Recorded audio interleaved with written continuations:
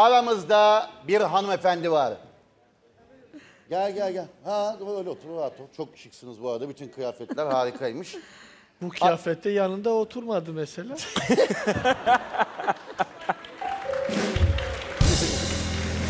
Ay bütün gece yüz vermedi. Böyle işte erkekler böyle.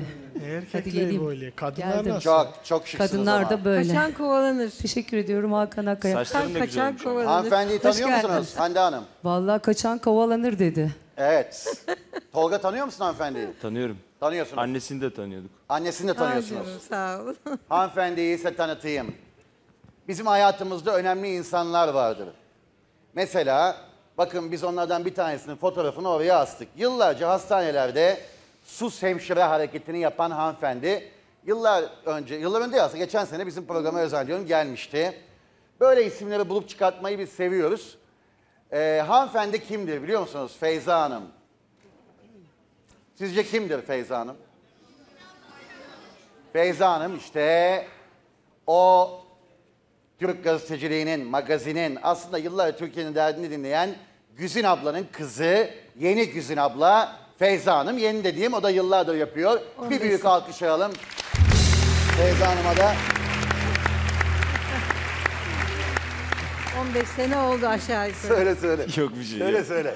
Yok bir- İnşallah konu benim ilişkilere gelmez. Hayır hayır yok. Yok abi sen kendin getirmedikten sonra ama konuşmak Benden istiyorum. hiçbir şey çıkmaz merak etme. Feyza abla iyi misiniz? Keyfiniz yerinde mi? Allah'a şükür. Biraz Aa. geç oldu uykum geldi ama.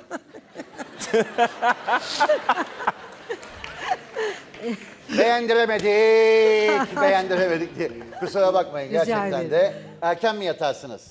Belli olmaz. Belli olmaz. Belli olmaz.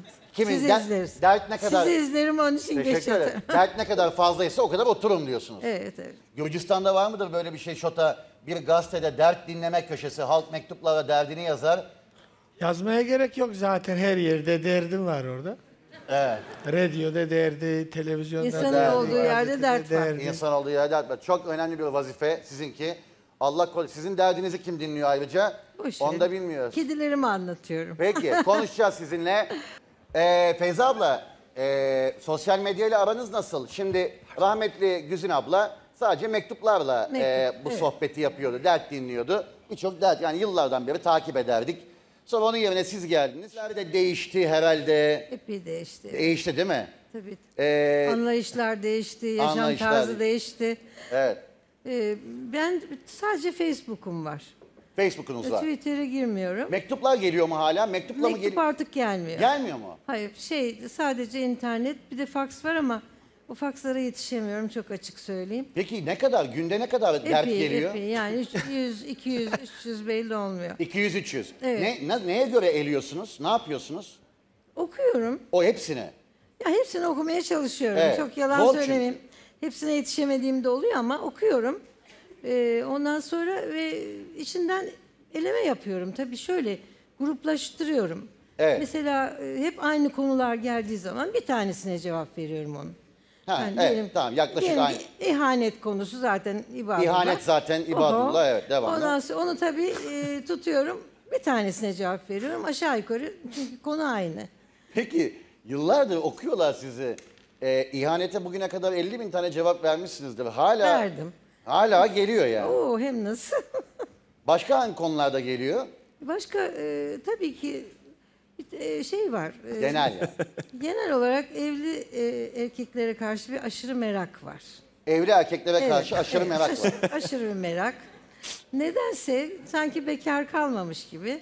Evet. Evli erkekle olunca daha bir değişik oluyor. Bir de bunu e, bir hataymış gibi de anlatıyorlar. Yani böyle bir, bir şey var hayatımda Aslında- istemiyorum da hay Allah. Filan ne gibi. yapsam falan gibi. Sonra e, yazıyorlar mesela aslında Güzin abla bilmiyorsun ikinci kadın olmak da o kadar zor ki.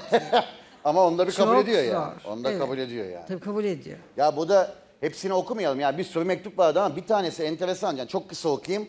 Bu nedir ya? Güzin abla ben 23 yaşındayım. 3 yıl önce boşandım. Umarım beni anlayabilirsiniz. Çok karışık durumdayım. Türkiye'de eskiden çıktığım erkekler boşandığımı duydukları için bana ulaşmaya çalışıyorlar. Evet.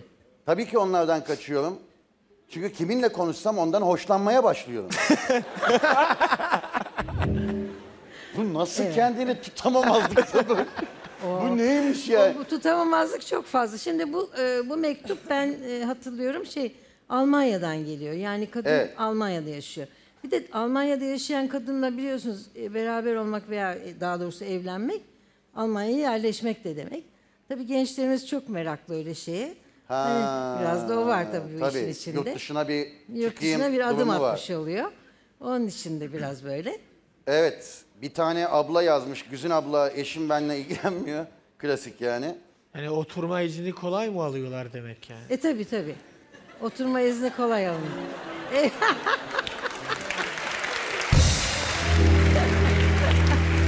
şey var. Bak burada seyircilerimizin arasında Yani bir taraftan bir taraftan bir nasıl diyeyim onu? Eller anlatıyor bize aslında ama yani sen yine Bir taraftan da işte kimlik.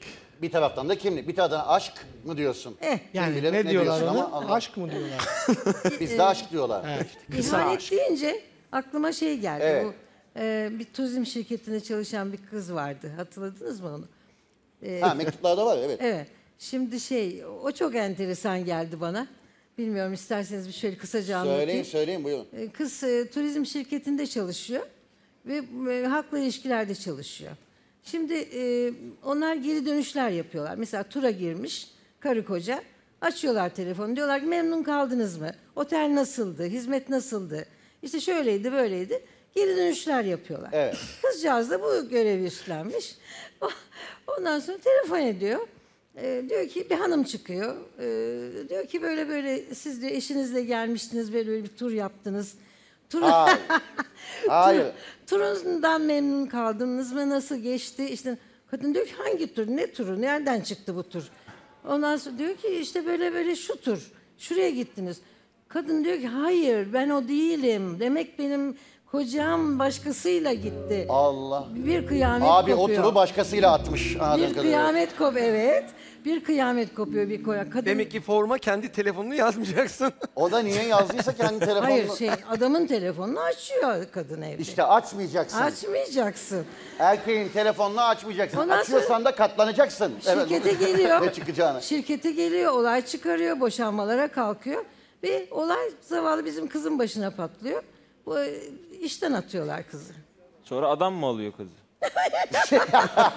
Bence, Öyle bir şey olsa. Bence güzel bir final yani. Film olsaydı belki. Abiye Kanalımıza abone olarak tüm videolardan anında haberdar olabilirsiniz.